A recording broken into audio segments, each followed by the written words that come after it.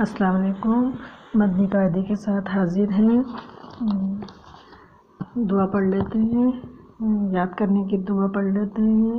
सल्लल्लाहु ताला अला मोहम्मद सल्लल्लाहु अलैहि वसल्लम। अल्लाहुम्मा अफ्तह अलैना हिकमतका वंशुर अलैना रहमतका या ज़ल जलाली वल इकराम। सल्लल्लाहु ताला मोहम्मद सल्लल्लाहु अलैहि वसल्लम।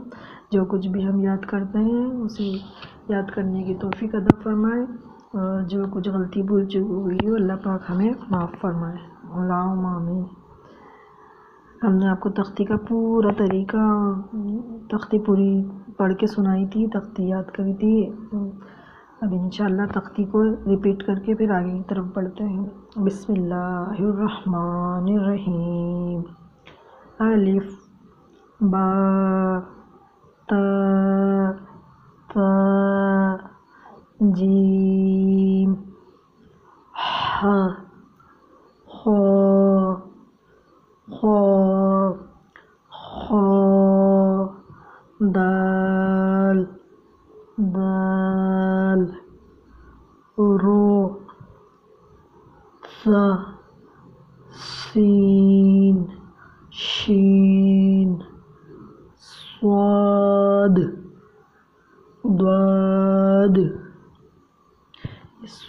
स्वाद के दाल पे मैं रुकी हूँ और द्वाद के दाल पे रुकी हूँ। आपने नोट किया होगा तो ये मैं आगे बताऊँगी। ये अभी तो समझ जाएगी ये कलकला के में यहाँ कलकला करना होता है। तो वो मैं बाद में बताऊँगी। अभी आपको जितना बताया, इतना करें। वो मस्तालिया को पुर पढ़ेंगे होटो से अदा होने वाले हरूफ चार हैं। और सीटी वाले हरूफ तीन है। बिना सिटी वाले हरूफ तीन है। स्वाद बाद आइन गैन फा क़ाफ क़ाफ लाम मीम नून वाव हा हमज़ा या ये तख्ती हमने पढ़ ली है अब हम आगे तख्ती की तरफ़ चलते हैं। सबक नंबर दो हरूफ मरकबात कहते हैं, जिसे दो या दो से जायद हरूफ मिलकर एक मरकब बनता है। जिस तरह से दिखाया गया है, पहले वो एक एक एक एक हरूफ से पीछे तख्ती में ये दो हरूफ हैं। दो हरूफ मिलके क्या बनते हैं? मरकब दो या दो से ज़्यादा। जिस तरह से दो हैं दो हैं या दो हैं, आगे दो से ज़्यादा आपको पता चलेंगे ये दो से ज़्यादा है, यानी तीन रूफ है। तो यहाँ समझाने के लिए बताया गया है कि दो रूफ का जो मजमु या दो रूफ जो मिलकर बनेंगे वो मुरक्कब बनता है, दो रूफ का। और फिर मुरक्बात हैं ये। अच्छा और फिर ये तो सादी सी तख्ती समझ आ गई होगी। मरकब हरूफ मरकब हरूफ को मुफरद हरूफ की तरह अलग अलग पढ़ें। जिस तरह हमने पीछे पढ़ा था, इस तरह हरूफ है। ये मरकब हरूफ तो है, लेकिन इसको कैसे पढ़ेंगे हम? अलग अलग करेंगे मैं पढ़ के बताती हूँ आपको। बिस्मिल्लाहिर्रहमानिर्रहीम। अलिफ लाम, अलिफ, लाम को हमने कैसे पढ़ा? लाम को हमने इस तरह से एक मिकदार के बराबर खींचा है। लाम, अलिफ, एक मिकदार के बराबर हमने पीछे पढ़ा था ना? एक मिकदार के बराबर खींचना है। अलिफ, लाम अलिफ लाम, अलिफ, बा, अलिफ बा को भी हम एक मकदार के बराबर खींचेंगे, जैसे हम पीछे पढ़ चुके हैं। नून, अलिफ, ता, अलिफ, या, अलिफ, ता अलिफ। ता में सीटी नहीं आएगी। शीन, अलिफ, सीन अलिफ, सीन में सीटी लाएँगे। सीटी सीटी वाला हरूफ है ये। सीन, अलिफ। अलिफ, कौफ। अलिफ हलक से अदा होने वाला हरूफ है। कौफ को एक मकदार खींचेंगे, फिर अलिफ पढ़ेंगे। कौफ, अलिफ, जीम।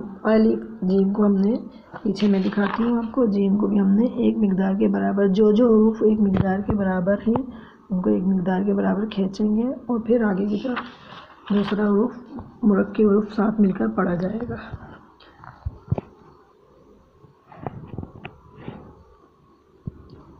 जीम अलिफ अलिफ अलिफ आइन अलिफ इस तरह से पढ़ेंगे हम? जिस तरह से यहाँ तक हमने ये पढ़ लिया, अब पढ़ेंगे हम लाम। एक अलिफ के बराबर खींचा ब। कफ। ब।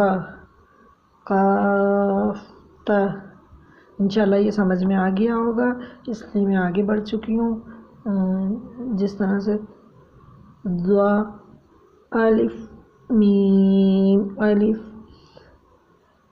हा, अलिफ, इस तरह से हम ये जो लफ्ज़ हैं, इनको खींचेंगे नहीं और इस तरह इस तरह पढ़ेंगे। काफ, फा तो बा बीच बीच में से पढ़ के मैं आपको बताती हूँ।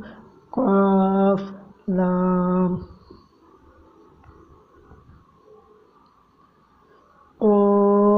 दाद, द्वाद, फिर मुस्तालिया है आपको बताया था तो वो मोटा करके पढ़ा जाएगा, पूरा पढ़ा जाएगा। ओ दाद शीन कौफ ता या या या। अब ये तीन हरूफ हैं, इनको किस तरह पढ़ेंगे? आइन बा दाल आइन समझ में आ गया होगा? इसको हम मिला के इस तरह पढ़ेंगे। आइन बा दाल अबद। आगे जाके हम मिला के पढ़ेंगे तो वो आपको समझ में आ जाएगा इन अभी मैं ख़ुद ही आपको ज़्यादा ज़्यादा नहीं समझा रही, क्योंकि समझना मुश्किल हो जाएगा। मेरे आसान तरीके से पढ़ाने का तरीका फिर आपको मुश्किल लगने लगेगा। हाँ फिर इंटरेस्ट आपका कम हो जाएगा कि समझ नहीं आ रही। इसलिए मैं अभी आसानी के साथ आपको पढ़ा रही हूँ। बीच बीच में से आप देख लें, आप पढ़ें। आइन जी हा जी जीम को हम एक मकदार के बराबर खींचेंगे। बा, सीन। सिटी वाला ग्रुप है तो उसमें हम सिटी निकालेंगे।